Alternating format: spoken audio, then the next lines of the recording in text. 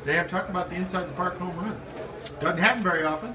Yeah, I think it was a little unconventional of a home run, um, but I mean that's how that's how it rolled today. So I'll take it. Did you see him kind of waver on what he wanted to do with that ball out there, or did you even give him a look?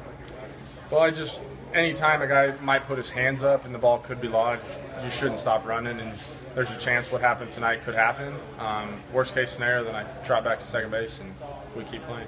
Boys in the dugout give you a good-natured hard time when you got in there. Yeah, it's not your typical home run, so they, they let me know about it. Unless you know about it. Uh, let's talk about Casey Shane.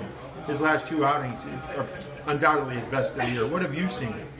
Um, he's just really attacked the strike zone with all three of his pitches. He's thrown he's thrown really good. Um, it's great to see. I, I know he's got that in him. I watched him pitch last summer, and he's a really good pitcher when he pitches like he does these last two starts.